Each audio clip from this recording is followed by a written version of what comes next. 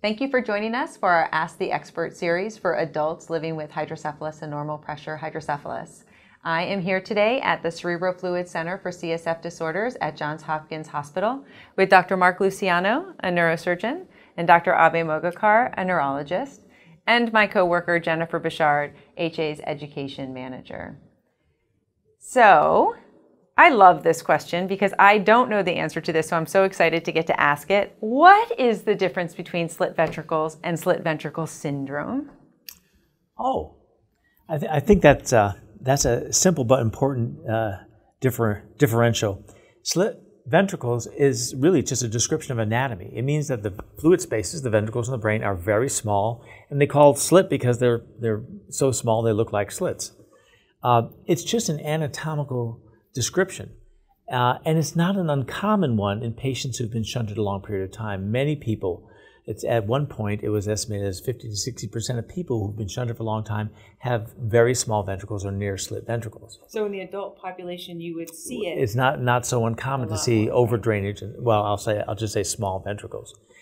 Slit ventricle syndrome. The word syndrome really reflects a set of symptoms. It's a cluster of symptoms, uh, and that means that there is some problem some symptoms that, that is felt to be associated with those small ventricles. And slit ventricle syndrome is usually uh, uh, a description of a person who has, first of all, small ventricles, shunted hydrocephalus, but also has episodic headaches. Those headaches have been uh, described as uh, building up slowly and increasing in pressure and then dramatically uh, decreasing in other episodes where they build and just go away on their own. Uh, but they can be quite diverse really in how they, how they present. But a person with, with headaches uh, often somewhat episodic, and small ventricles is considered likely to have slit ventricle syndrome. And the number of patients that have symptoms from those small ventricles is actually uh, you know, small, uh, but uh, over drainage is a general problem in our patients who, have, who are shunted for long periods of time. So you can have slit ventricles and not have slit ventricle syndrome. And be fine with it. Your, your images may show, yes, your ventricles are very small, they're nearly slit, but you're doing fine. And, and the uh, neurosurgeon would likely do nothing about it if you're doing very well with it. So I'm going to ask this question with an example. Um, ask, the question first is Is it harder to treat? And I'm asking it with this example. We see this a lot. Uh, somebody is feeling symptomatic that their shunt is not working. They go and get an MRI or a CT scan. Their ventricles do not appear any different in size. What is happening mm-hmm. um, there in that situation? And is somebody with slit ventricles harder to treat as a, a neurosurgeon? Well, I should start off by saying that slit ventricles is something that, that uh, neurosurgery and shunting actually causes over a period of time. So it's, it's a, it's a long term effect of just draining a little bit too much, or maybe it can't even say too much, but in, in a non physiological way. Being artificially drained. Artificially drained. So we've gotten ourselves into that small ventricle, and the patient has over a long period of time. It is harder to treat when it develops. Again, many patients never have symptoms with it, but as you can imagine, if the ventricles are real small and the catheter is right in the middle, then uh, it's much more prone to get blocked, for example. Anytime the catheter has tissue around it, that tissue can stick to it and the tissue can grow in and you can get blockages. There's another issue with slit ventricles in that when the ventricles do collapse around a catheter, there may be fluid in many other parts of the brain that would love to be drained by that catheter. But that catheter is in an area that's all blocked up. The shunt's working fine, but it's blocked up by those slit ventricles, those uh, ventricle walls that are surrounding it. So there you can have these episodic headaches where, where the shunt's not working for a period of time because it's closed off by the ventricles. Pressure builds up, up, up all around, and then eventually it builds up enough that it opens up enough and fluid does drain and then it collapses. So you have sort of, if you look at it, sort of almost a fluttering over time. And that's what's believed to be the cause of some of these episodic headaches with slit ventricles. So yes, they they can be hard to treat because they can get blocked more frequently. Often we, we try and, well, let's put it over here.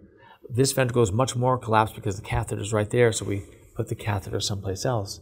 The problem with that is sometimes that area then collapses, perhaps over some time, months or years. So anywhere we put the catheter uh, in the ventricle system, there can be some collapse uh, and a slit ventricle syndrome. Uh, and again, the issue of blockages. It's also difficult to treat because obviously our targets are smaller. We have to use uh, stereotactic navigation to get to the precise area uh, where there may be some fluid. Uh, the navigation systems these days work actually pretty well for that, but it is a small target, and the possibility of collapse uh, is still there no matter what the target is. Sometimes uh, we use lumbar drainage if it's feasible and, and, do a lumbar drain because the fluid in the lumbar space does persist even when the ventricles are very small here. So there are other options, but it is a, is a difficult problem uh, that is often treated by, ironically, even though the person may have big spikes in pressure because the catheter is closed off intermittently, uh, by increasing the resistance to slow down the drainage, to allow fluid to build up a little bit so that there's more even flow going out. So uh, we learned back when before the adjustable uh, shunts to do an operation, take out a medium pressure valve, put in a higher pressure valve, decrease the amount of drainage, expand the ventricles a little bit. Uh, that does work if the patient can tolerate it. Uh, and, and, nowadays we can adjust a little bit with the adjustable systems and, and, and, and treat that way.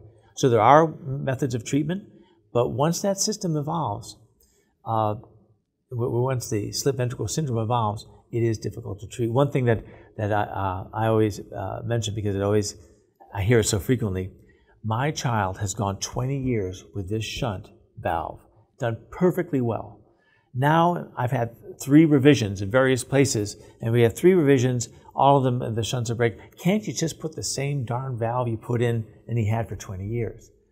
And I really wish it was that simple because in fact that valve that was there was slightly overdraining all that time and the ventricles were getting smaller and smaller and now we're in a situation where we have to try and expand the ventricles very very gradually uh, so unfortunately the same valve he had for 20 years uh, that worked well is, is not the solution either it's, it's a bit harder to treat I think the thing that's scary for patients living with slit ventricles um, or parents uh, who have children with slit ventricles is that fear of traveling, right? Going somewhere else. Um, that MRI, you know, they they go into symptomatically the individual, uh, the adult goes into shunt failure. They go to the ER, and the doctor's like, "There's nothing wrong. Like I'm looking at your scans, everything looks fine," well and they're in incredible pain. Um, and so, I, I'd love just table the advice on how to deal with that for one second and, and answer this one question from a non medical practitioner. And I'm hoping that many of you guys have also thought this and, and maybe are trying to make sense of it. So let me see it what Dr. Luciano says. Does your brain become less able to, as, as the ventricles might increase a little bit, tolerate that movement because it's, it's not as it's, it's gotten stiff. The mm-hmm. brain has gotten stiff. So when even just the tiniest little bit of pressure, which on a scan wouldn't show up, could be really painful for somebody. So you, yeah, it's a, it's an interesting question. Uh, what happens when those ventricles get smaller? I mean, it's, it's a, your head doesn't get any smaller, right. and what's happening really is your brain is expanding a bit. It's it's swelling a little bit, and that is due to increased uh, fluid in the veins and the vascular system uh, and increased fluid in, in, the tissue itself. So the brain, in a sense, gets used to being kind of big. It gets used to taking up the space where the ventricles are. And then when we try and, as I mentioned before, try and push back, push back the walls of and, and ventricle and drain less, uh, the brain will resist uh, because it, it, it, in a sense, is fuller now. Mm. Uh, and it may not be, it was thought in the past that it was actually a scarring and so forth that did, it, or gliosis. It may not be that, but it's, it's very likely that the brain is just, in a sense, larger and fuller than it was, largely for because of fluids that are there. So uh, the, the, the brain does change over that period of time. What's remarkable, though, uh, is that we've seen situations where uh, it's hard to get the ventricle big, but then all of a sudden they get, they get very large, sometimes too large. So we've seen situations where we said, well, the, you have slit ventricles that never got any bigger.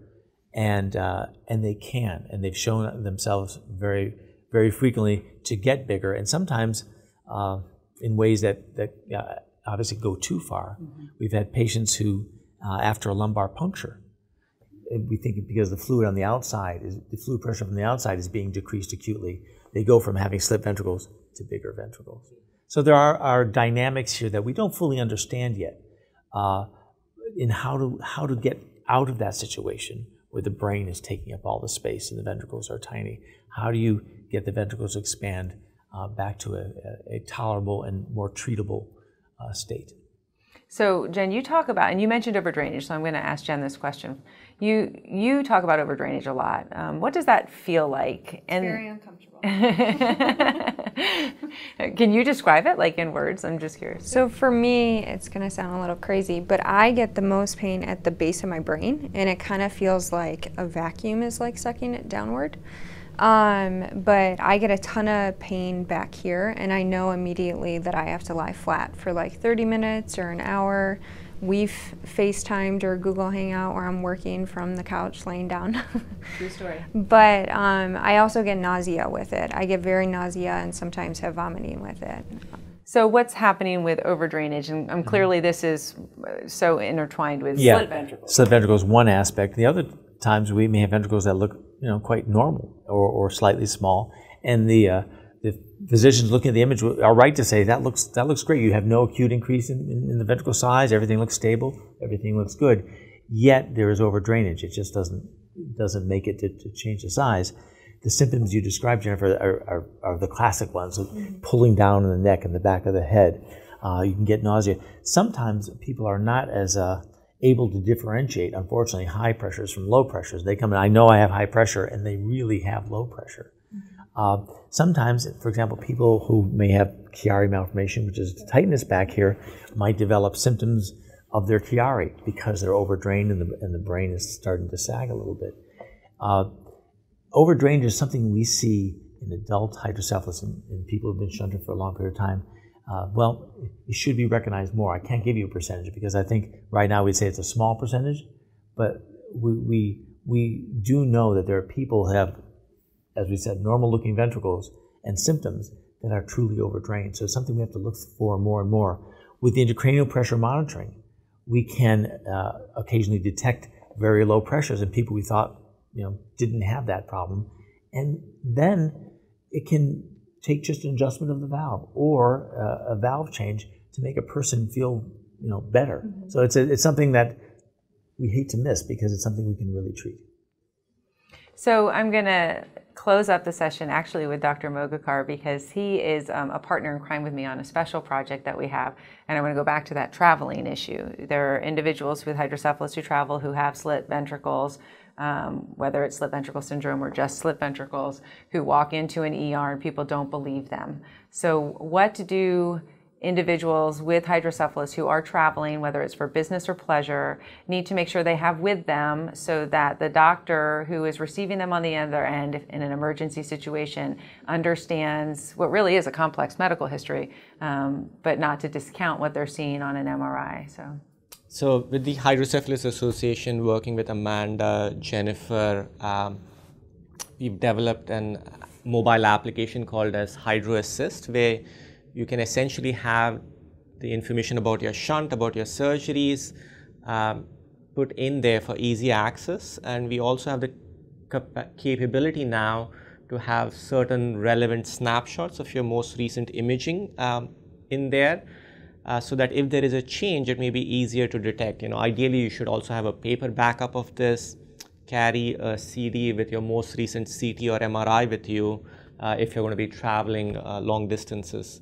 So I, I think uh, having as much information as possible about your shunt and about your most recent imaging uh, should allay some of your concerns. And is it um, unrealistic to ask your one of your doctors uh, to? It, most it would probably be the neurosurgeon to on that on the notes that you're taking the surgical notes that you're taking with you or on a cover letter this person has smaller ventricles. Please note that when reviewing an mri or well we certainly do include that in our records with every visit so that that should be there along, along with the images. Great. Yeah. I think that that will um, allay some fears that a lot of people have as they are traveling around what they need to have with them and how they don't have to fight to make their case like no i really am having issues right now because we do hear that like people don't believe me uh, and i really am in failure. And i think it goes back to another segment that we had taped earlier where we discussed uh, being in a new city, moving to a new city, should you find a neurosurgeon, this would be a compelling reason to absolutely find care wherever you are living, even if you've gone 20, 30 years without any problems, uh, because you could be this situation if you've had a shunt your whole life. Um, your, your ventricles could be smaller. You might appear normal on a scan, but be symptomatic and in a, in a shunt failure situation. So another important thing I, I, w- I would advise in, in, many patients who have lived with hydrocephalus for decades, there, has been many operations. It's, it is complicated for anybody to come into and, and, and understand what's going on. It's, it's always wonderful when, when we have a new patient coming in who the family has logged over some time, at least a, a series of operations. I mean, obviously, obviously we get this, try and get this from the history, but uh, uh, in this complex world, it's very nice if the, the, patient takes some responsibility to try and organize what their treatment has been. Uh, and obviously, the, the has, has that kind of uh, potential as well. But when we see uh, some ongoing record of, of what the patient's been through, including the size of the ventricles and so forth, it is so helpful uh, and will help a new, new neurosurgeon coming in in a you know, baseline or an emergent situation to understand things. So I would encourage everybody to kind of keep a log uh, of the important events that have happened uh, in their hydrocephalus history and keep the, their most recent and some really old images, perhaps, you know, on a disc in the, in the glove compartment when you travel. Or on your HydroAssist app. Uh, or on your HydroAssist app. Better still. So I would say with, with technology nowadays, and I'll leave everybody with this thought, uh, not only do you have the HydroAssist app available on Google Play and on the App Store, for the iPhone, but you also do, many hospitals now also have MyChart or patient portals where they can access their medical records and medical histories. So make sure that you're always prepared when you are traveling. But in terms of slit ventricle syndrome and slit ventricles, you can have slit ventricles, not have slit ventricle syndrome. Um, ultimately, I think you know, the care and management of the complexity of that is the same. Um, slit ventricle syndrome seems to be accompanied with some headaches as well, so that's the differentiator. Um, and I think it's it's great to actually understand the difference between the two, um, so that you can talk about it with your doctor. So thanks everybody for joining us today. And thank all of you for watching. For those of you that submitted questions through Facebook and Twitter, thank you for being a part of our Ask the Expert series, and we'll see you next time.